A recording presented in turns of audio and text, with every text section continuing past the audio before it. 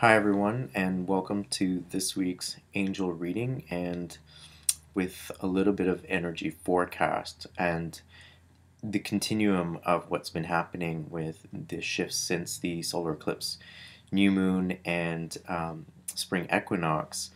Uh, that energy is continuing to serve us now as we enter in the lunar eclipse, which is happening tomorrow, April the 4th.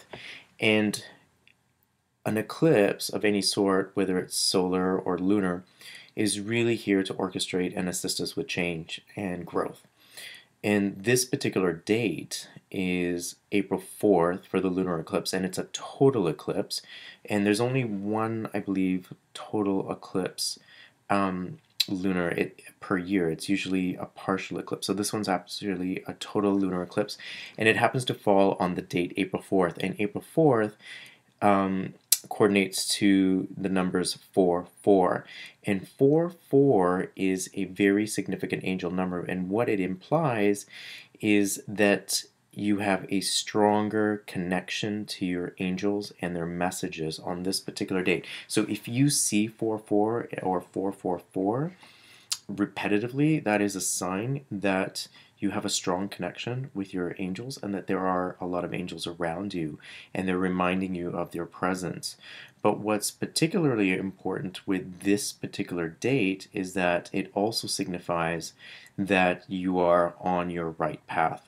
So the theme for this particular weekend is to support our journey and along our paths. And in particular, the theme seems to be with life purpose. And so the card deck that I used this week for this week's um, angel reading is with Doreen Virtue's Life Purpose card deck.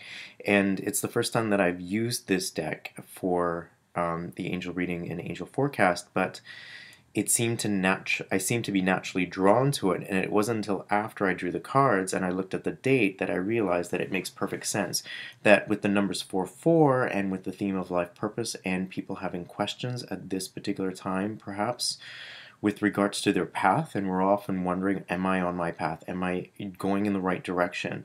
And who hasn't had questions about that before? But in conjunction with the lunar eclipse, it's specifically orchestrated th- for this period to assist us with um, any changes that we need to perhaps make in our life path and in our life purpose and what those changes might be. So, that said, um, I'm going to start off with the first card.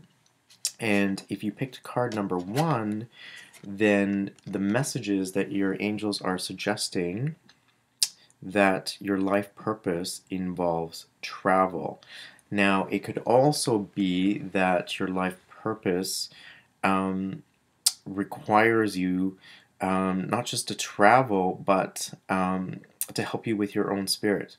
So, for example, for me, I love to travel. I find I do a lot of learning, and most of my growth occurs when I leave the comfort of my own home and I'm put in an environment that I'm not used to being in. And my spirit tends to really soar and loves the type of adventure. So, if you picked card number one, the travel card, it could indicate that yes, you're career or your life purpose involves travel, but also that your soul at this particular time wants to go somewhere. It wants the adventure and the journey, and perhaps also you just need a break. Uh, what What's great about travel is that you really learn different aspects about yourself that you may not learn in your own in your own home or in the comfort of your own home. So um, the angels are saying it's time to get uncomfortable and step out of your box and consider maybe take going somewhere that you've never been. Or maybe there is some place that you've been longing to travel for. Now is the time to make travel plans and follow up with those dreams. Okay?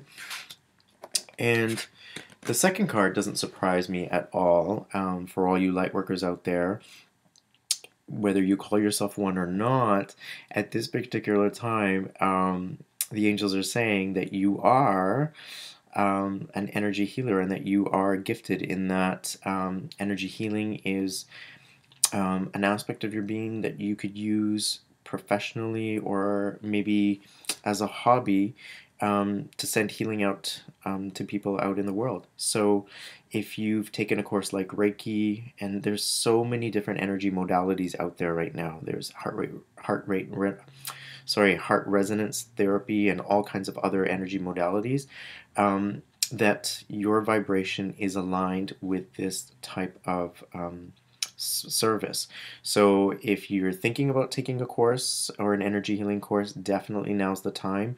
If you're thinking about pursuing a career that involves energy healing, now is the time. Or if you are in need yourself of energy healing, then by all means go out, get a practitioner, and get some healing done on yourself. But um, if you pick card number two, there could be multiple meanings for this. But the general gist of this card is that you are um, gifted in that you could very well be an energy healer and that you may want to consider using that modality as a way of being of service. And last but not least, we're getting the Ask card again. So this came up, I believe, in last week's reading, and the angels want to remind you once again that it's really important that you ask for their help, and especially if you have questions about major changes like your life purpose, and you're confused and you're not really sure what that might be or what next step that um, you require to take in your life purpose, ask the angels, and especially in this particular period during this weekend with the lunar eclipse, with the date 4 4, there's a lot of energy directing towards this aspect of your life right now. So, this is the time to contemplate, um, to think about what it is that you really want to do with your life.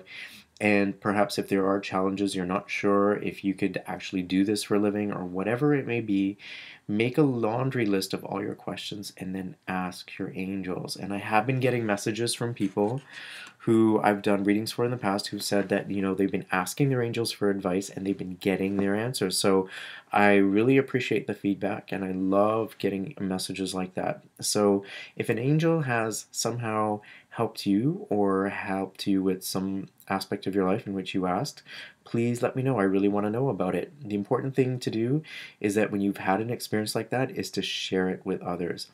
I'm Farhan Dhalla, and again, if you are enjoying these angel readings and these angel forecasts, then please subscribe to this channel or click like and uh, submit your comments in the comment section. Till next time, angel blessings.